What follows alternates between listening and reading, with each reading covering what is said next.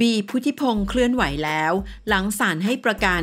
พอหมดแรงหมดใจสิ่งที่ทำมันไร้ค่าไร้ราคา ภายหลังที่ศาลอุทธรณ์อนุญาตให้ปล่อยชั่วคราว 8 อดีตแกนนำกปปส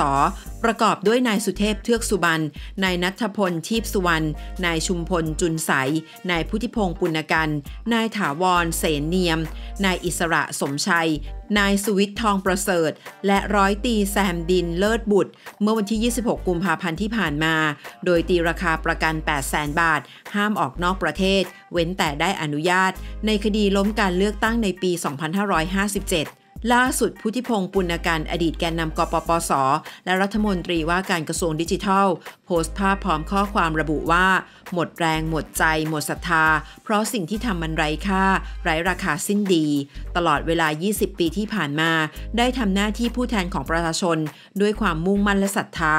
วันนี้คงได้เวลากลับไปดูแลคุณพ่อคุณแม่ครอบครัวลูกๆขอบคุณในทุกๆกำลังใจที่มีให้ผมมาโดยตลอด จากนี้จะมีโอกาสได้ทบทวนตัวเอง มองไปข้างหน้า ไม่เสียใจในสิ่งที่ได้ทำเพราะเราทำด้วยสติ ความคิดและศรัทธา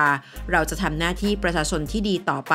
ด้วยความจงรักภักดีต่อชาติศาสตร์กษัตริย์ภูมิใจที่สุดที่ได้อยู่บนแผ่นดินไทยของพระองค์ เงยหน้าไม่อายฟ้า ก้มหน้าไม่อายดิน